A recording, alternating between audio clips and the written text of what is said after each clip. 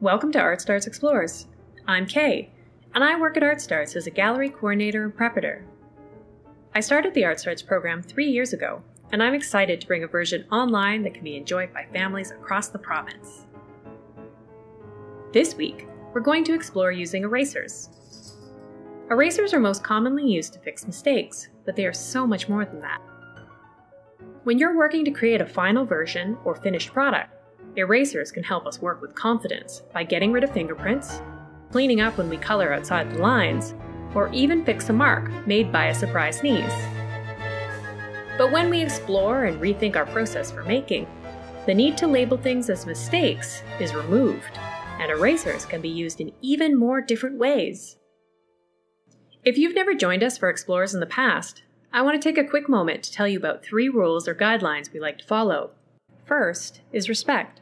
We practice respect for ourselves by listening to how we feel, respect for others by listening and sharing, respect for the land by acknowledging the nations and indigenous people who have served and continue to serve as guardians and stewards of the land, and by doing our best to be respectful guests as we learn and play here. Second is no expectations. Try not to plan too much before trying something today. If we get a picture in our heads of how something should turn out, we can be disappointed with ourselves when it doesn't.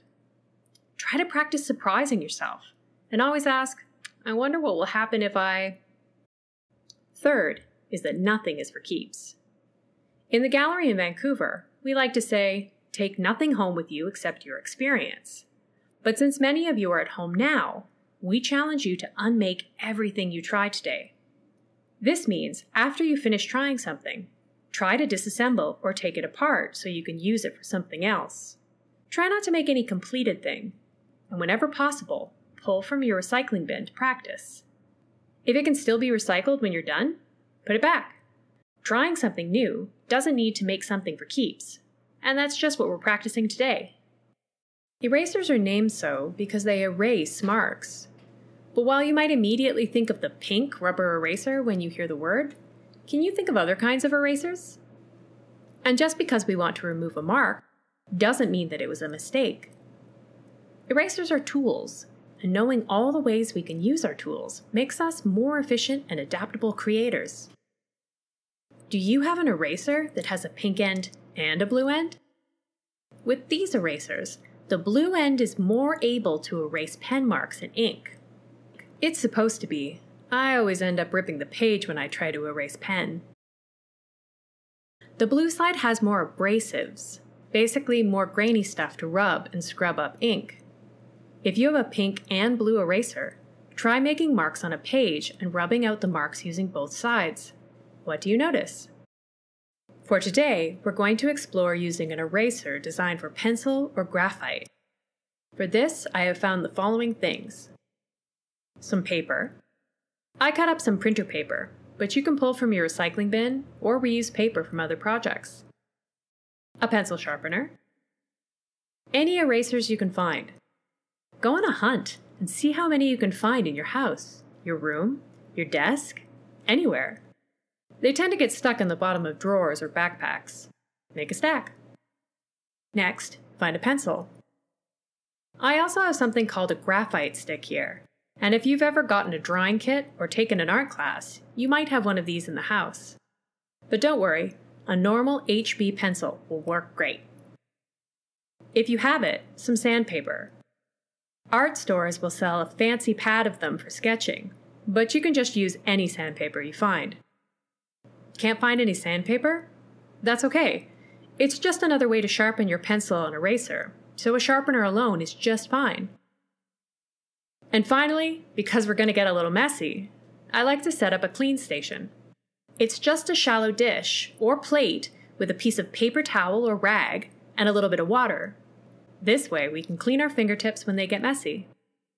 And when we make plans and space for respectful art making, I always encourage you to get a little messy. I like to use a piece of paper for catching any dust, testing my tools, and catching any pencil shavings as I work. You can also work over the garbage can or put out some newsprint while you explore. Start by sharpening your pencil. we're trying to make a long point so that you can use as much of the flat edge of graphite as you can to mark up a page. If you have multiple pencils and you found some sandpaper, try sharpening one pencil with the sharpener and the other one by rubbing the flat of your pencil over the sandpaper. How does the pencil look different when you sharpen them in these different ways? If you have one, you can also test your graphite stick and compare the marks. Next, lay down some marks onto the paper. Use your pencil or sticks to put a whole bunch of graphite onto the page. Try turning the page and use different parts of your pencil, sharpening as you go along. Remember, there is no wrong or right way to do this. Ask yourself, what happens if I... and then test it out. For my test, I also have a tin full of other mark making tools. If you happen to have some charcoal or Conte, these are also often found in drawing kits. You could try using some of these to mark up the page. If you don't have any at home, you can watch what happens here and then compare what you're doing with what I did. Fingers feel messy? Just touch or rub your fingers on the wash station. Check it out. You're practicing another kind of erasing. Washing is just another way to say erasing. What happens when you use your eraser on your fingers? Does it work? Now that you have some different surfaces, try using each of your erasers on each of your surfaces. What do you notice? Are some erasers better at erasing some marks? Does the shape or texture of your eraser affect how much you're able to erase? If you have a really square or sharp-edged eraser, what happens when you try drawing with your eraser? This is where your sandpaper can help. If you want to make a sharp edge to your eraser, just rub a side along the sandpaper. If you don't have any sandpaper, asking an adult with a sharp pair of scissors or utility knife to cut off an edge also works. No adult? No knife? No sandpaper? That's okay. You can also just rub the eraser on another piece of paper until you get the edge you like. Can you figure out another safe way to make a sharp edge on your eraser? Keep erasing. Even if you've already erased a section, what happens when you keep erasing? Add more pencil, and then erase again. If the paper rips, that's okay too. Now you have two pieces of paper to work with. What happens when you crinkle the paper and try to erase it? What happens when you erase one page onto another? Try everything you can think of. In previous weeks, we've focused on more general themes related to a process or product rather than focusing on a tool itself. For our series on shadows, we explore different ways to make a shadow. In this case, we're focusing on the tool, erasers, and exploring different ways to use an eraser to produce or make different marks. There are lots of different ways to explore art making, and by changing our focus from how to make a thing to with what should I use to make a thing, you open a whole new series of questions. Remember, you can always go back and rewatch one of our videos or host your own art making session with your family, classmates, and friends where you explore a theme with different tools, in a different location, and with different people.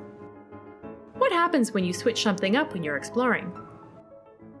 Be sure to download our activity resource page this week for additional questions you can ask each other, as well as some words you can use to challenge yourself when you're practicing using your eraser. And don't forget, when you're all done playing and exploring, try to take things apart and put them away again so that the only things that are left behind are the pictures in your brain. Thank you for watching this video today. If you have any suggestions, please let us know.